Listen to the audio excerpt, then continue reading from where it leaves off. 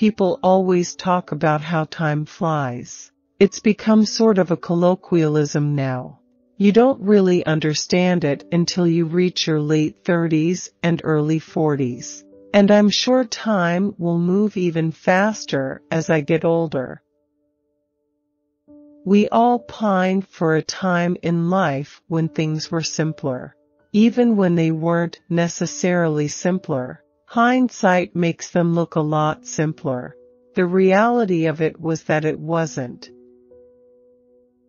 I decided a handful of years ago that I just want to write songs that you can understand as soon as you put the record on. There's no need to veil what's happening in the song the way I used to.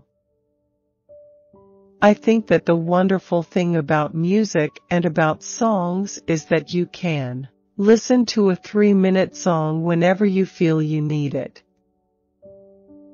My goal as a songwriter now is to simply write some memorable turns of phrase.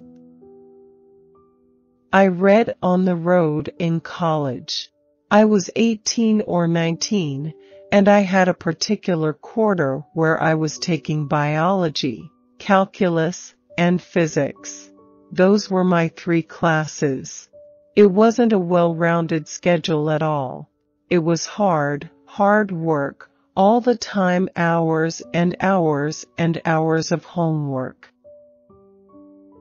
to set the record straight for the God knows millionth time. We certainly didn't sign to Atlantic just for the money.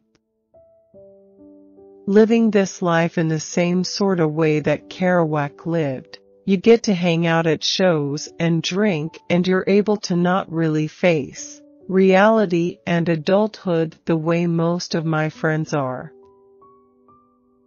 It's like, how do you continue to make records that are representative of who you are that your fans will recognize as your band, while still trying to push things forward and present new sounds for people?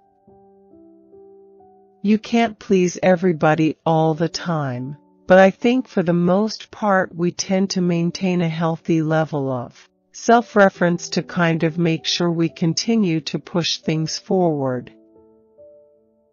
We never sit down before we start making a record and talk about this new sonic palette that we are going to try to explore.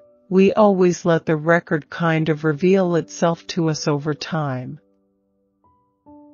Everybody has a language or code that they use with their wife or their girlfriend or boyfriend or what have you. It's a language aside from the language they have with strangers. I've always been maybe an abuser of alliteration, but I've always loved it and I like how those words sound together.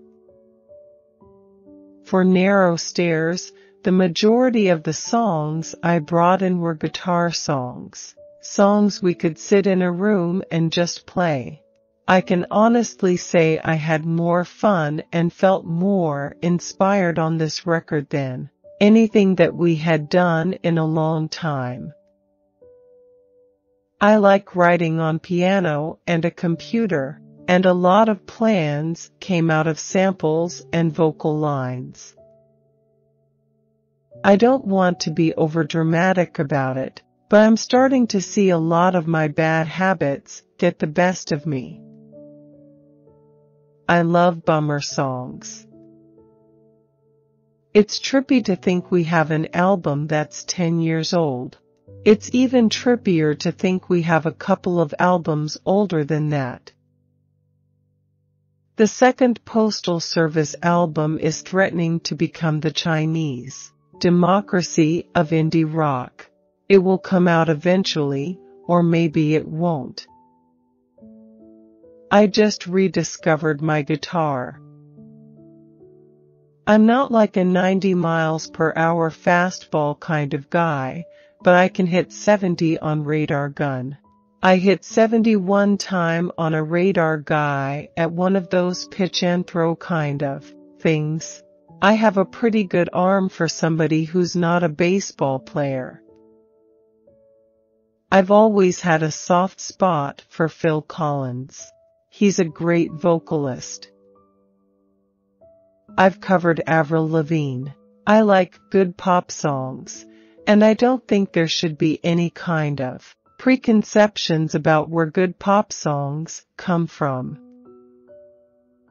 I feel that we are currently living in a world that is similar to late 50s, early 60s kind of world. I was literally just going and applying for jobs, and I couldn't get a job, and I was getting more and more broke, and you find yourself groveling for jobs you don't even want. When we moved to Seattle, everybody kind of disappeared into different corners of the city and it was a very difficult time for the band. The songwriting of Hall Oates is deceptively complex. There are a number of key changes that pass you by as you're listening to the song because they're so seamless and clever. Hall Oates is one of the few musical groups as satisfying now as it was back then. There's something incredibly musically satisfying about their songs. Nothing has diminished my love for them. As a songwriter, I'm not necessarily writing about myself or my life. What we aspired to in 1998 we have wildly surpassed. And I know we all feel incredibly grateful and lucky this band has been able to have the life that it's had.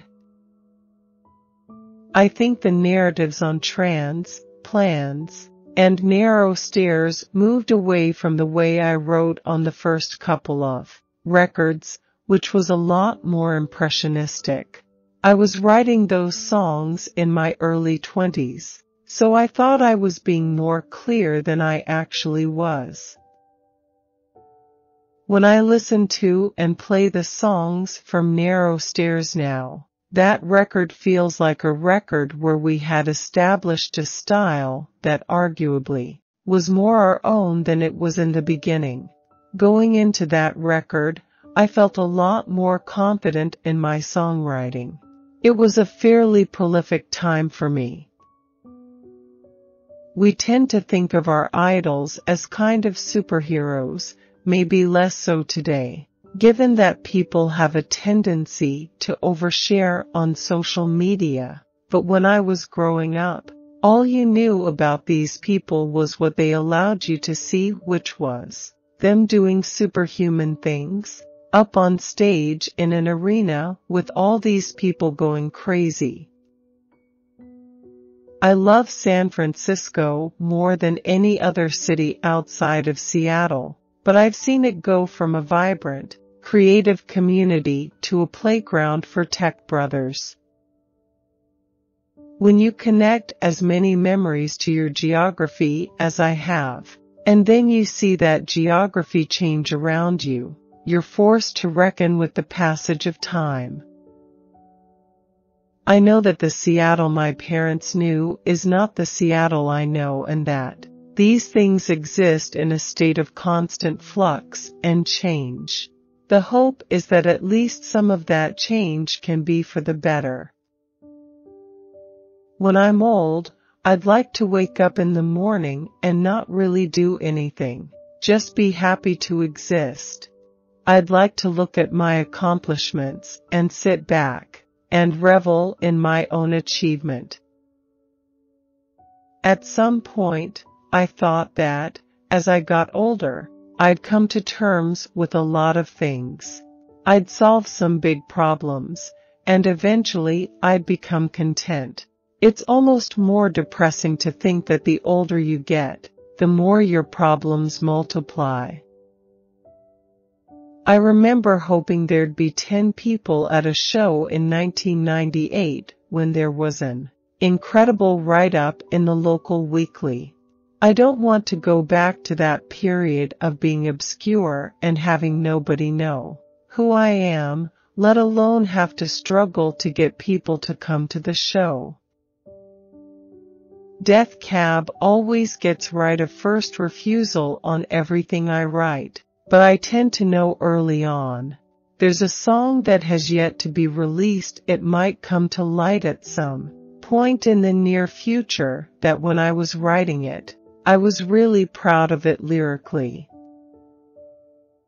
I always try to write the best song I can in the moment, and those songs are often going to end up on Death Cab for Cutie Records. I don't set out to write a solo song or write a band song. I just write, and where that songs ends up is kind of TBD. When I look back at 2003, it was the best year I've ever had creatively, having Transatlanticism and give up come out in the course of six months. I'll never have another year like that. I think a very clear-cut example of dare I say plagiarism is the Sam Smith Tom Petty situation, where you have a song that is flagrantly. It is the hook from one song being used for another song. To me, that was a very obvious example of plagiarism. If somebody had done that to me, I would probably take a similar course of action. I don't feel that all the great songs have been written. I do feel that where we are now, certainly with rock roll music, is that so much of it is variations on themes. But I think that it's one's particular creativity and individuality that comes out within that variation on a particular theme that makes a song great. I would much rather hear a song that's written from a fresh perspective, using ideas that have existed in rock roll for 50 years, than something that is incredibly abrasive to my ears, but is new. I think there's something that feels so good about a 1-4-5 chord progression. It's a very standard chord progression, and it just feels good to the ears. I think a lot of people who become music fans have that moment where they break from their parents' music. They break from the radio and MTV, at least in my generation, they did. And MTV isn't really a thing anymore. And you discover something that defines you, that is outside of the mainstream.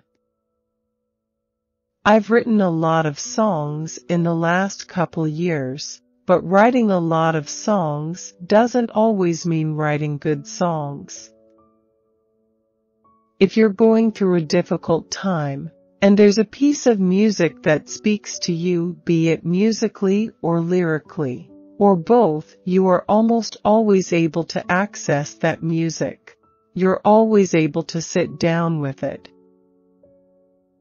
I still love The Cure more than almost any other band, but they were really, truly like the first band that I really loved and felt was mine, you know at a pivotal time in my life when I was 13, 14 years old.